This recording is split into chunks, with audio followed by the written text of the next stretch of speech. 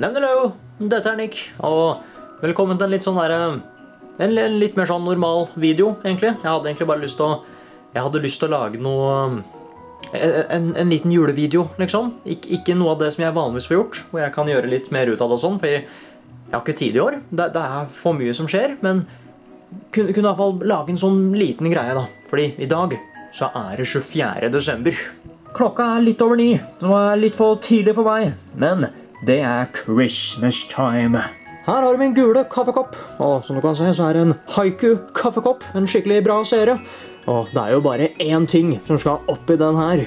Get your urge oppi der, you haiku-kaffekopp, you.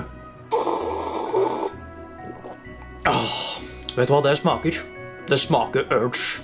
Og Christmas. En annen grunn til hvorfor jeg har stått opp så tidlig, er fordi Da har ikke de andre stått opp heller, fordi Da kan jeg hamstre alle julekakene. Skal vi se her.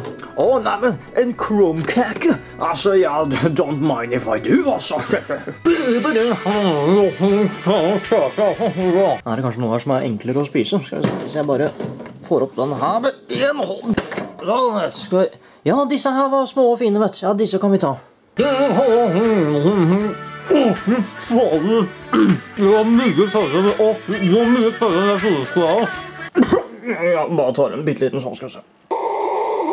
Jeg burde egentlig bare begynne med pepperkaker med en gang, altså, for dette, dette var mye mer crazy enn det jeg trodde det skulle være. Ja, dette Guds problemet nå er at jeg har begynt å bli skikkelig kvalm av en eller annen grunn, men Veldig god pepperkake. Det er så godt, ass.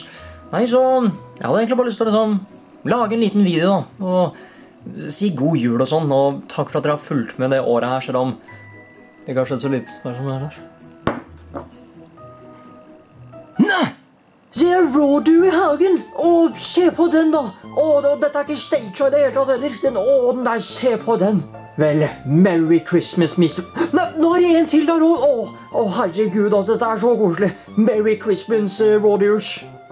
Og det siste jeg må gjøre, da, altså før ting blir før, uh, før ting blir hektisk og sånn i kveld, ikke sant? Det er at jeg, må jo se på mine gode, gamledagse julefilmer, ikke sant? Altså, holde denne tradisjonen i live og sånn, for jeg gjør jo det her hvert år. Så la oss se på noen gode, gamledagse julefilmer.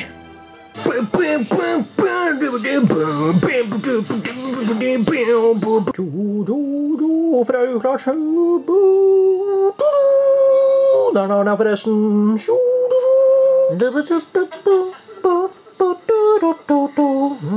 Å, tenk å bo her. Å, nå skjer det. Å, fy faen. Nå er det jul, ass. Nå er det så jul. Fortsatt godt, selv om jeg begynner å bli skikkelig kvalm. altså. Men da vil jeg bare si tusen takk for at dere så på.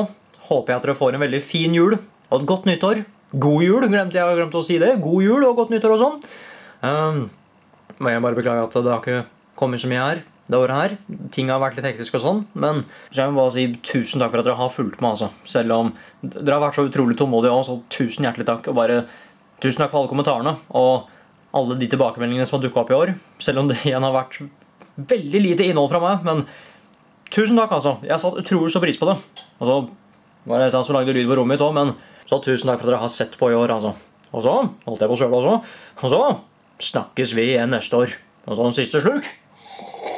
Å, det er så godt. Ha det bra.